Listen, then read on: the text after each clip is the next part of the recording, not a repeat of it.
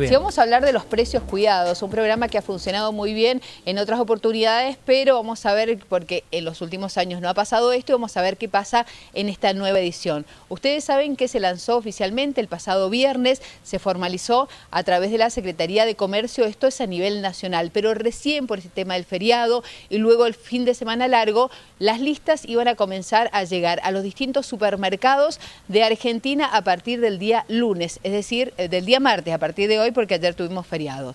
Todo eso lo vamos a preguntar ahora a José Cortés, que es el- quien es el director de Fiscalización y Control en la provincia de Mendoza. Bueno, preguntarle qué ha pasado acá en la provincia de Mendoza con esto. Bueno, están aparentemente están esperando también las confirmaciones. eh, recordarle a la audiencia que este es un programa de adhesión voluntaria y que cada una de las cadenas, que en Mendoza son seis, eh, tiene un listado particular. Entonces esos ajustes generalmente llevan un tiempo más. Eh, pero en general son 448 productos para la provincia de Mendoza y seguramente a partir de la semana que viene estaremos relevando a ver cómo está siendo el cumplimiento con Claro, eso. pues son 452 a nivel nacional, y pero hay algunos que no se consiguen acá en la provincia. No, están, por eso, están en el mismo listado que denuncia la Secretaría de Comercio. eh, hay cuatro que están indicados por ellos como que no se comercializan en Mendoza. ¿Y en qué lugares, cuáles son estas eh, seis cadenas? ¿En qué lugares la gente podría encontrarlos? Bueno, son todos los locales de la compañía de, de Cencosud, tanto Jumbo, Jumbo como Bea, Changomás, Coto, eh, Libertad y Carrefour. ¿Qué diferencia tiene este, esta edición del programa con las anteriores? Bueno, que los productos son bastante menos de lo que veníamos siendo, se va aproximando más al, al primer precios cuidado, eh, tiene algunas características particulares, han desaparecido algunas cosas que eran secundarias, que no eran de primera necesidad, los artículos de almacén, que son los vinculados con la elaboración de los alimentos, corresponden más o menos a un tercio de ese total de productos. Son ¿Y el resto cuáles? no, y el resto hay artículos de perfumería, de aseo personal, de mm, eh, golosinas, galletas, eh, pero lo vinculado estrictamente a la, a la cuestión de la comida son 155 y de esos hay 44 que corresponden solo a aceite, entre mezcla y girasol. Así que eso ya se venía observando, que hay una, una presencia muy grande de los aceites y lo que sí nosotros hemos advertido ahora, informalmente y en las anteriores ocasiones, es que hay que tener cuidado con eso porque generalmente se encuentran precios más convenientes en productos que no necesariamente están en el listado de precios cuidados, en lo que se refiere a aceite. Buscar, por ejemplo, otras promociones en los supermercados. Sí, también tener cuidado a cuál es el- la presentación del producto, si viene en un envase de 500, de 900, de un litro y medio. Mirar muy bien el precio por unidad de medida, que muchas veces eh, demuestra de que hay productos que son conviene más comprarlo en un envase de mayor contenido. ¿Y y qué pasa si, por ejemplo, la gente va a un supermercado y no encuentra el producto? Eh, ¿A qué se puede ver esto y si se puede hacer un reclamo formal? Bueno, eso es lo difícil, por eso nosotros necesitamos imperiosamente que la Secretaría de Comercio nos envíe cuáles son los listados por supermercado, porque eh, si no, no podemos eh, diferenciar en qué medida hay un incumplimiento de la cadena o es un producto que no se comercializa. De todos modos, sigue manteniendo precios cuidados, una muy buena aplicación desde la cual se puede denunciar directamente a la Secretaría de Comercio el, el faltante o el- un precio distinto al que está denunciado en el sistema. Eh, ¿Qué otros productos sobresalen de los precios cuidados en esta oportunidad?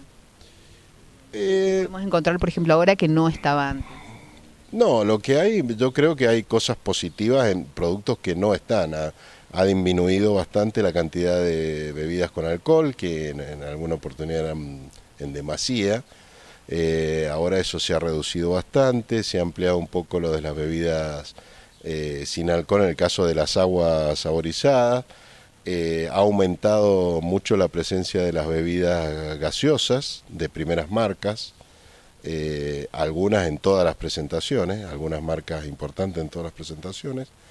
Eh, hay dos marcas de azúcar, lo que ya me refería del, de los aceites, por supuesto, teniendo en cuenta que son mezcla o girasol, hay mucha oferta.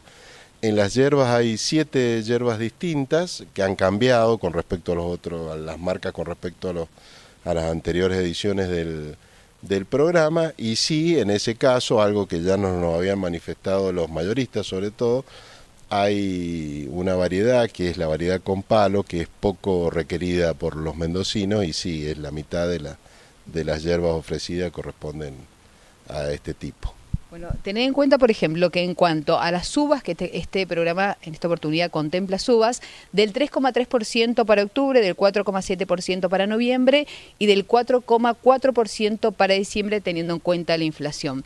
Pero también queremos preguntarle otra cosa, porque habían tenido muchas quejas que tenían que ver con mendocinos que reclamaban porque faltaba la exhibición de precios en otro rubro, que es el rubro también muy consumido, que son las verduras en Mendoza. ¿Qué operativo han realizado, que están realizando ahora? Ahora y, cómo deberían estar eh, los precios exhibidos? Bueno, eh, es un tema bastante delicado. Ustedes saben que justamente asociándolo con lo de precios cuidados, que en algún momento tuvo eh, productos de verdulería y en otros no, es un rubro difícil de, de monitorear. Y lo que veníamos observando, que es un reclamo que aparece siempre con el tema de la inflación, es el precio de las verdulerías. En, nuestro relevamiento, el que hacen habitualmente los inspectores de comercio, habíamos notado que eh, había un faltante importante en la exhibición de precios de las verdulerías. Además, estábamos recibiendo muchas denuncias al respecto, por lo que estamos en este momento, se está desarrollando un, operativo grande de control de verdulerías porque vemos que efectivamente no, no existe la exhibición de precio, así que le recordamos... Es obligatorio que tiene que estar, por ejemplo, voy a cualquier verdulería, tiene que estar el precio de lo que sale puesto en el cajón afuera, adentro, donde sea. Todos los productos que se venden en cualquier comercio tienen que tener el precio al que, al que se lo ofrece. Todos en general. En ropa, por ejemplo, lo que quiero... Lo que Marcela, la indumentaria. varía de acuerdo al, al tipo de varía de acuerdo al tipo de comercio del que estemos hablando. En, algunos casos se puede resumir, la indumentaria puede haber un precio general eh, por un mostrador determinado que indique todo lo que está ubicado en este lugar físico tiene este precio, si no, tiene que estar indicado, eh, si las prendas tienen distintos valores, están ubicadas en el mismo lugar, tienen que tener cada una indicada cuál es el precio unitario y así con cada con los otros rubros. En el caso de las verdulerías y fruterías, si se exhiben cajones, cada cajón tiene que decir eh, cuál es el precio por la unidad de medida al que se venda, si es un atado, si es un kilo, tiene que indicar claramente cuál es el precio. Todos los productos. Claro, decíamos la indumentaria porque uno encuentra que por ahí va caminando viendo vidrieras y no todas las vidrieras están exhibiendo el precio. Bueno, esa es otra infracción común también. los precios de vidrieras tienen que estar eh, correctamente indicados. Lo mismo, puede ser que si es eh, algo que se refiere a un maniquí, que esté indicado en un mismo cartel cuál es el precio que corresponde a la, a la pieza superior, a la inferior, al calzado, a, alguna chaqueta, algún sombrero, pero eh, cada prenda tiene que tener su precio indicado, tanto en la vidriera como en el interior del local. Y respecto de la indumentaria, Marcela, si puedo agregar una pregunta, no sé si eh, el director no me escucha claro, directamente. Claro, te escuchamos perfecto. Bueno, José, ¿cómo le va? Gracias por estos minutos. Lo que hemos podido observar, por ejemplo, en el tema de la indumentaria, es que ningún producto dentro de los locales tiene colocado el precio en la etiqueta, sino que ya están las, eh, las etiquetas directamente sin los precios. En distintos locales hemos podido observar eso. Y otra cuestión del, del tema de la ropa es que a veces eh, la misma prenda, pero de un talle más grande, tiene otro precio. Por ejemplo, dice desde 7.000 una camisa, pero cuando la camisa es un talle más grande, ya el precio ya no es 7.000. Eso también eh, está fuera de la ley. Tiene que estar, perfecto. Eh, como respuesta general, lo mismo. Todas las prendas tienen que tener el precio exhibido, de manera tal de que no necesite de la asistencia de ninguna persona del local para saber cuánto sale.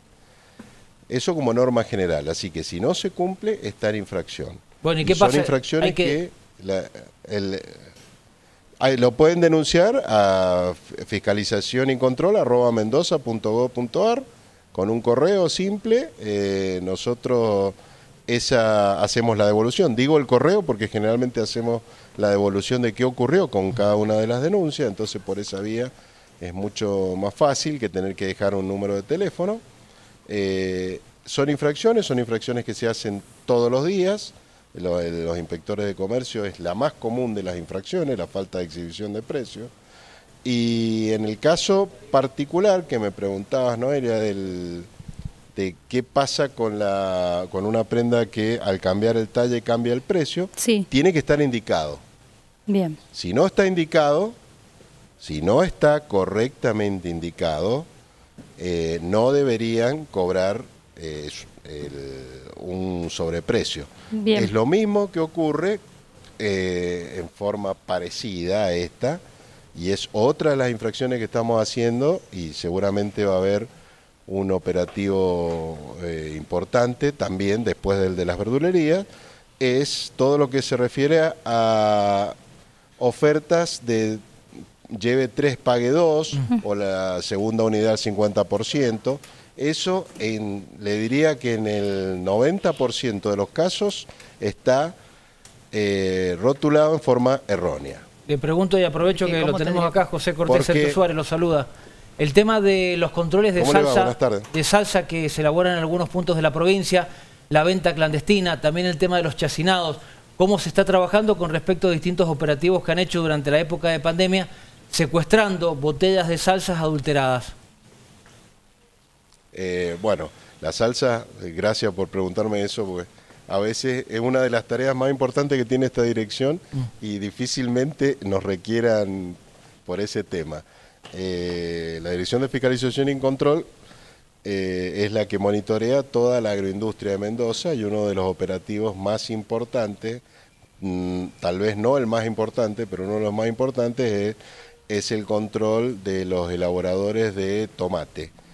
Y, y sí, y permanentemente se hacen secuestros de, de mm, productos que están siendo elaborados en forma clandestina, como así también se hacen correcciones en establecimientos que están declarados y que puede ser que alguno de los lotes no haya salido en las condiciones óptimas para ser comercializado. Mm. Eso, el destino de eso es la destrucción. Generalmente se hace con la participación de, y la asistencia de organismos municipales. Pero todo lo que es clandestino se destruye. No puede comercializarse. Perfecto. Marcela, todo tuyo el cierre. Bien, muchísimas gracias, José.